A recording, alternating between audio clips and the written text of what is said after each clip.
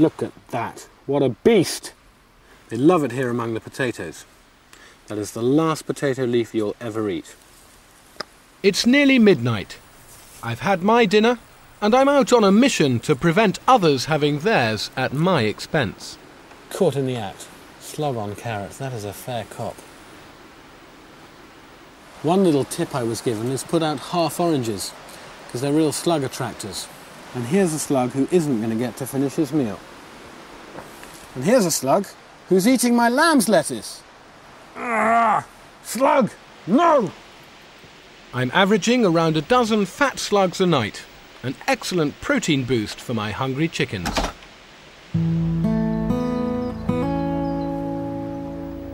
It's high summer and four months since I left the city, and Dorset is finally getting some sunshine.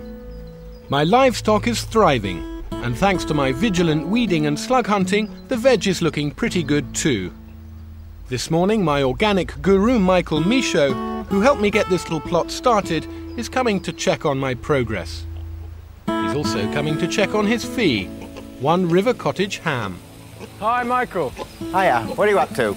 You're just in time for a shower. Yeah, look at how happy they are, huh? They're doing all right, aren't they? Yeah, they're not doing too badly. When are they going to go to the abattoir?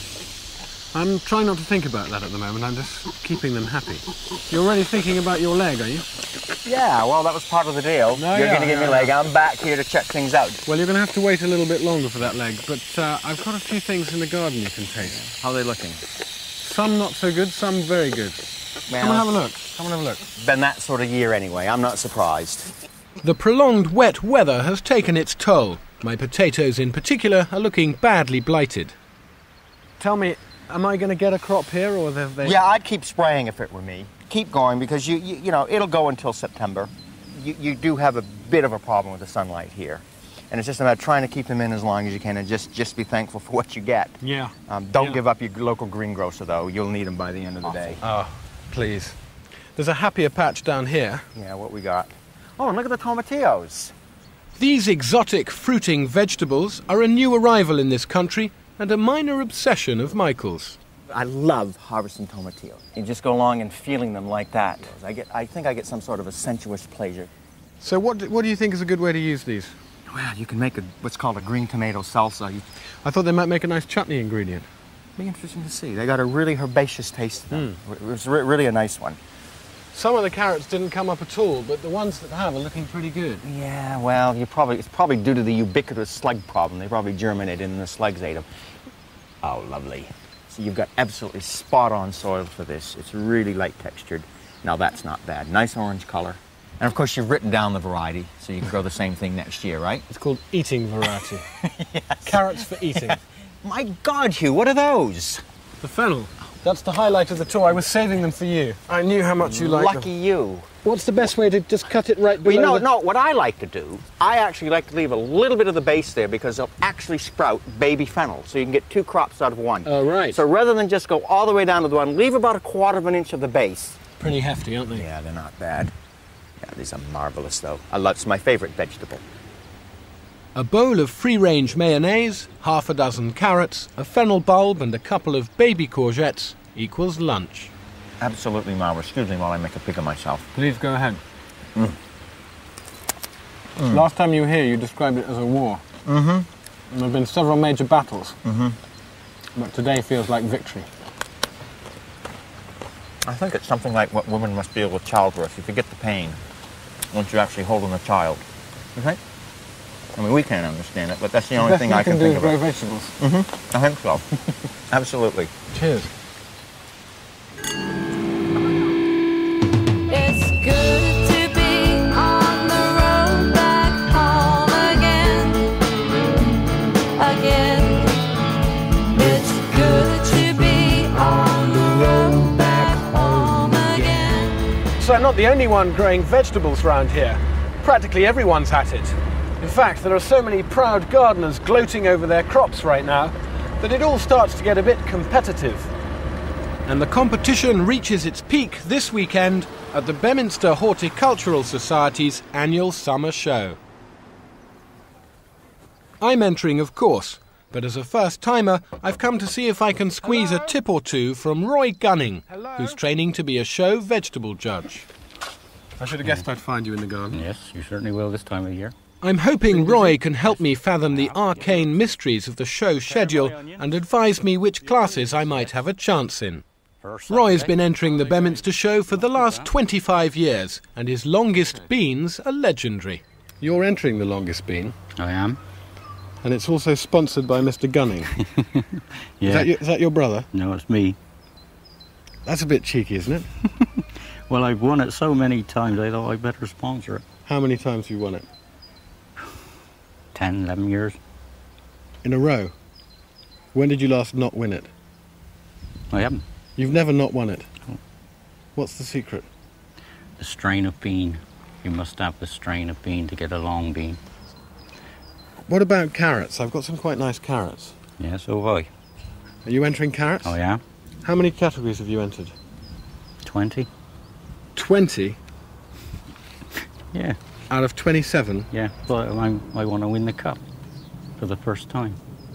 You've never won the cup. I never won the cup. What, so it's the overall vegetable cup. Mhm. I don't think I've got much hope of that. Anyone for tea? Roy's veg will take some beating, and rumour has it his wife Barbara's no slouch in the homecraft department. That's a very nice cake. It's bought raspberry jam though. Not homemade. No. Is it a difficult one to win? Yes. Because I thought I'd have a go at that. The Victoria sponge, the traditional, is with raspberry jam. Well, funny enough, I made some raspberry jam, and not only am I going to put it in my sponge, I'm hoping to enter it in the show. I think it's pretty good, but I want you to tell me what you think. Ah, right. Here So- we go. Judge. For start, the lid. No, What? Why? What? it's a metal lid. Traditional jam, you have a wax disc and you have a cellophane top. I thought I could do either these days. I thought I thought things had moved on a bit. No, You've got a. I've, I've got the wax wax disc. you have. Let me say, this is the bit. Bit runny, Hugh. Is it really? It is a bit runny. Oh, oh, that's gorgeous. Is it really? Oh, it is. Oh, that's moist. Yes. That's a good reaction. Mmm, that is. Oh, they've got the raspberry taste well into that. So what else are you entering in the homecraft? I'm going to enter some chutney. Really? Have you made it already? I have. Because I want to do chutney, but I haven't made it yet, and I'm just worried about whether there's enough time for it to sort of mature. You've left it a little late, actually. Do you think? But when did you make yours? Sunday. Really? yes. Smells really good. smells very spicy. There's not a lot of spice in there. Really? So you're entering this. I am. It's going to be hard to beat. You think so? But I'm going to have a go. Well, we'll meet on the day then. We'll meet on the day. Gun, guns in Beaminster Town Hall. Chutneys at dawn. Yes. The secret of a really good chutney is to get a harmonious blend of sweet, sour, and spicy. But at the heart of it all, the bulk and body of the chutney, I've got my marrow, my overgrown courgette. I've got soft brown sugar for sweetness. I've got these lovely tart cooking apples, which have also got the pectin that should set the chutney. I've got some sultanas that are already soaked in vinegar. And I've got some onions, which will give lovely depth of flavour to the thing. My spices, dried ginger, cloves, peppercorns, and whole coriander seeds. But I've also got a secret ingredient, which I hope is going to shock the judges into rashly awarding me top prize. My tomatillo. I'm dead impressed with these little fruits, and I think they'll be perfect in a chutney. They've got a sort of really zesty flavour, almost like a cross between a tomato and a lemon. Just the thing. Once the tomatillos have been coarsely chopped, they join all the other ingredients in a large pan. Half a litre of white wine vinegar goes in, and then all my spices wrapped up in a muslin bag. After two hours of gentle simmering, it's beginning to look like the real thing. They say that a good chutney, when it's finished, parts to reveal a clean bottom of the pan. Parting of the Red Sea.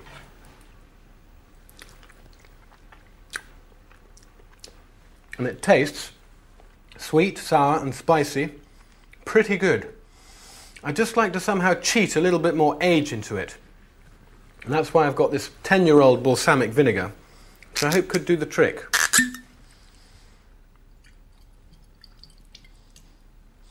Now it's time to pot the chutney according to the WI guidelines for show presentation.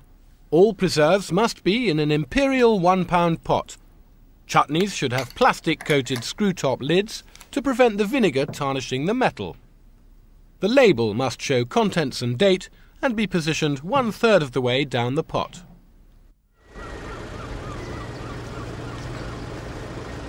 The limestone reefs of the Dorset coast are a haven for all kinds of marine life. And just a couple of miles from the harbour here at West Bay, one reef has become the scene for a bizarre annual phenomenon. Spider crabs come in their thousands. Nobody seems quite sure why, although it's almost certainly got something to do with sex. A spider crab orgy? Now there's a concept. It's 7 a.m., and I've teamed up with some local divers who are planning to take a closer look at these mysterious crustaceans. The skipper of our boat, crab potter Dave Sales, has known these waters all his life. Like to think we know what there is to know about spider crabs, but in actual fact, we know very little. So, what do you think is going on down there now, these huge piles of them? What's Well, it's part of the mating process. They always come in very close to the shore this time of the year, and they'll go soft, change their shells, mate, and then they move off again. And they're a bit like a thief in the night. One day they're, they're not here, and the next day they are, and exactly the same when they move out. Mm, they're quite odd looking, aren't they? They are quite Spooky. odd looking. Some of them, you know, almost six foot across. They're- Six foot across. Yeah. Apparently, the spider crabs here are six foot across. Yeah, well, maybe I'm exaggerating a bit. You know what fishermen are like. You know, they put they fire up and put their arms and claws at you, and you sort of stand back a bit. These monsters command hefty prices on the continent, but in Britain we can hardly be bothered with them. Even my diving companions, who regularly forage for their dinner, aren't keen. so, why don't you eat spider crabs? There's too much else down there. You look at a spider crab, you think it's fiddly. You've got a big edible crab next to it. I'll take that instead. The spider crabs could be even more delicious. Yeah, they could be. I've never tried one, so You could be convinced. I could be convinced. Dave reckons our best chance of seeing the undersea orgy is on the reef just 50 yards off the beach. Diving must be the one sport where getting your kit on is more exciting than getting it off. But you always want to do it quickly. I'm buddying up with Eli, so before we go in, we take some time checking out each other's equipment. That's my kit. I'll get it on and we'll do a quick buddy check once I've got it on. Cheers, Tim. Take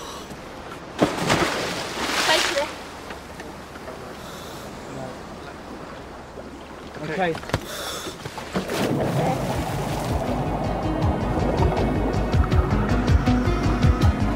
At first, the reef seems completely deserted.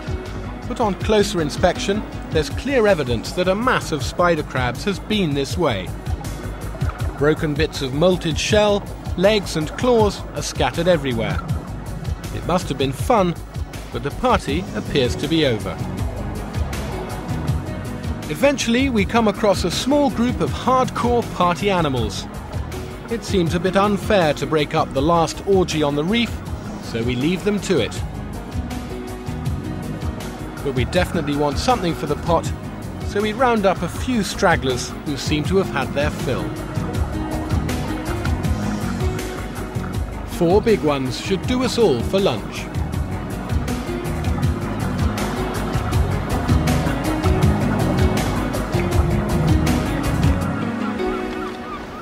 Lovely cock spider crab. You see, that is not quite the six foot we were talking about, but the- when you see that, you, you, you're getting and a on for half three. You see, yeah. aren't you? So if you get one twice that size, I'm not quite telling stories, am I? not quite. I'm impressed. I mean, people say they're fiddly, but there's going to be plenty Oh, there's a meat lot of that. meat in these claws. A lot of meat. And in this all body, these all- all in claws the base of and in here, there's, you know, that is, that is a superb crab. In fact, you, get couldn't as much white meat off that as you Oh. would off a good brown crab. Oh yes, you would. Back on the quay in West Bay, we start the crab cook-up. 15 minutes in boiling water and they're done. Then everybody gets cracking. We actually do want some meat items. I'm making a spicy crab sauce for linguine. A little garlic is sweated in olive oil and a finely sliced red chilli is thrown in. Next, a couple of pounds of yellow cherry tomatoes, skinned and chopped. Aren't these tomatoes an incredible colour? They are lovely. They're and very- the smell is delicious, isn't it? They're very, very sweet. Once the tomatoes are cooked, the crab meat's piled in and heated through. Oh, Chopped fresh chives add an oniony bite and a nice fleck of green. Then the sauce is ready to be tossed up with a mountain of linguine. For me? Oh, Yeah. it's gorgeous. So sweet. Don't think you're going to get me making this next time we go out on the boat. You'll all have to chip in. No woman thing, like. Would we do that, Eli? Do you, Yes. think, do you think divers are sexist? Oh, yes. Are they oh, really? Oh, not at all. No. Yes, you are. We would train them if we thought that. Any more, I'm starving. There is some more. That's what I like to hear. I think I've made a few crabby converts. But there's no time to crow because back at River Cottage, it's show time. I certainly don't want to be mean with the jam, but with this slightly runny consistency, I'm a little bit anxious about edge trickle. Immaculate presentation is vital if my Victoria sponge sandwich is going to be a contender. The dusting of caster sugar has to be just right. Barbara's warned me that too much is seen by the judges as an attempt to disguise surface flaws. Enough. I think you've got to know when to stop. I think that looks okay, and I'm going to go and take care of the veg. I'm tempted by some of the individual classes in the schedule, but there's also a category that calls for six different vegetables on a tray 12 inches by 12 inches.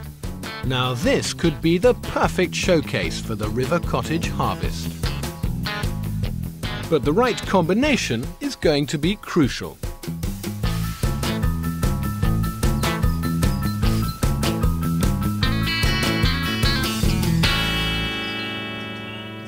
How can I fail? It's a vegetable Picasso. Show day dawns, and I'm off with my entries to Beaminster Public Hall, where Barbara and Roy are already preparing for their assault on the cup.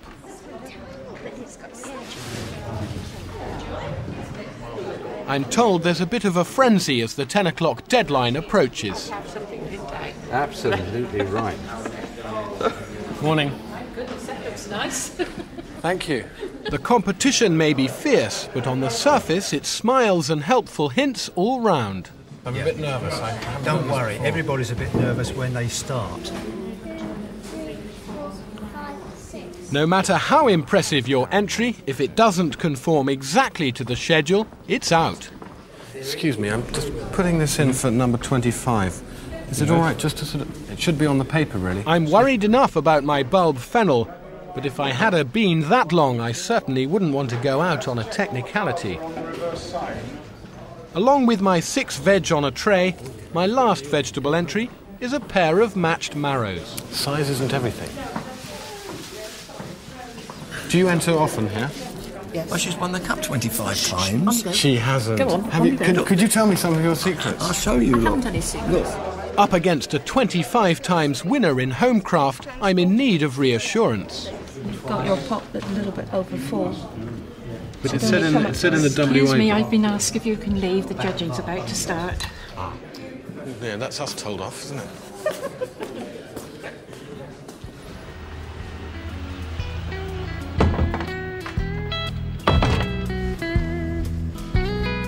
It's out of my hands now, and in the lap of the gods, or as they're known round here, judges. It just says pinks four.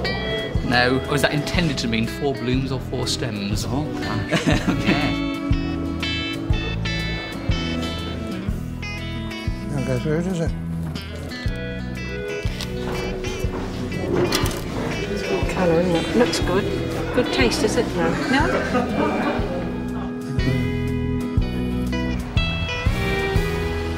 It's 2.30, and competitors are finally allowed back in.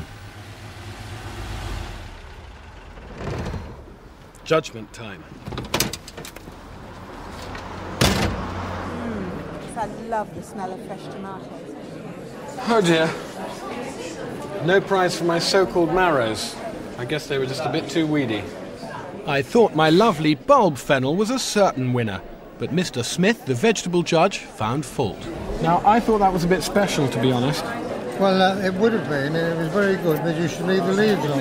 If I'd left more stalk on, Hmm. do you think I'd have got a... Yeah, You would, yeah. But, but you know, you was against a, a very good fine exhibit here, wasn't it? That Yeah. cucumber, it's Yeah, big, yeah, isn't it? yeah, This year, they've advertised a giant, a really giant one, and like that. I said, I'm not going to have it, but now I think I will now, I've seen those. And I thought, I believed. It's a prize. It's not first, it's not second, but it's a prize. Flushed with success, I check up on Roy's progress. Magnificent cauliflowers. Best I've grown. How did you get on with your onions? I had first for the ones passing through a three inch ring. First for my pickling ones. Oh, yeah, they're lovely. Second for my onions from seed. Well, I should have thought they were very good there. Well, I should have thought perhaps they were worth a prize. That is a fantastic bean. Good enough. The longest ever. It's probably the longest in the world. Is that the longest you've ever grown? Mm, yes. Really? Yes. Yeah. What about the cup? No? No, second. Second.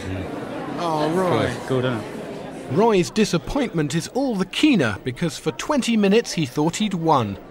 Then a controversial recount, and Roy was pasted over by his arch rival Ted Smith. To have your hopes built up so high and you think that you've accomplished something that you spent years working towards, and then it's gone. Now, what about my homecraft entries?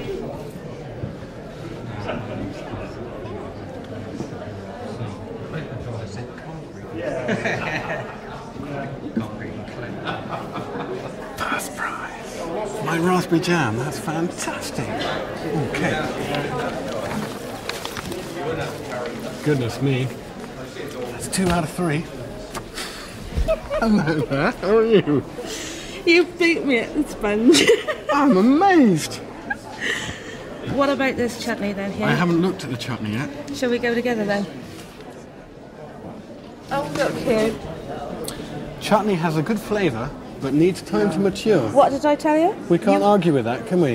Yours I was can only five days old. Yes. If we enter them both next year, we'll get a first and a second. So the challenge is on for next year then, yeah? Definitely. You up for that? Definitely. See you there. Well, it's been a great result in the homecraft, but there's definitely room for improvement on the veg front. I think I'm going to invest my 85p prize money in a couple of Roy's giant bean seeds for next year's show.